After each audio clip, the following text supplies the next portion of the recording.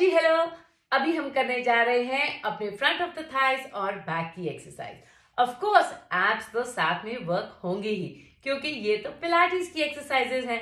तो चले, शुरू करें. आपने अपने दोनों घुटनों को हिप डिस्टेंस अपार्ट रखना है और अपने पाँव भी हिप डिस्टेंस अपार्ट रखना है.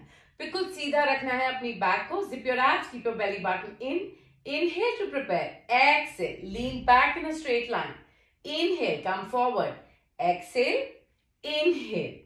Exhale. Inhale. Exhale. Inhale. अगर आपका एप कनेक्शन टाइट नहीं होगा तो जब आप पीछे की ओर ऐसे एक इंक्लाइन पर आएँगे तो आपकी एप्स यानी कि आपकी पेल्विक अंदर की ओर चली जाएगी। इसीलिए ये ज़रूरी है कि आप अपने एप कनेक्शन को टाइट रखें। तो फिर से करें। Inhale to prepare exhale inhale exhale inhale exhale inhale. ये एक्सरसाइज दिखती आसान है, मगर बहुत आसान नहीं है। आप इसे अभी से टाइम पास के लिए शुरू कर दें और दो सेट्स करें और हो जाए। Slim with Simi okay ji.